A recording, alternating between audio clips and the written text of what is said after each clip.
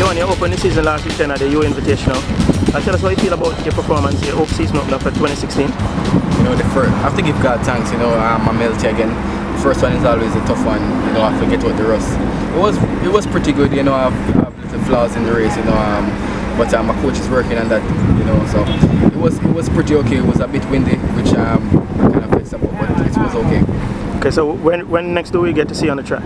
Well, I, um, I don't sure. Um, I just working um, with the coach, and um, when he tell me um, I can go there. But um, for me, I just want to keep on getting the races and keep on getting sharp, leading up to the trials. So you're 100% healthy now? Well, like, um, you can say that, definitely. You know, um, my body feels really good. Okay, so we can look some for, look forward to some special trials heading into the Olympics. We'll have to be ready, don't you?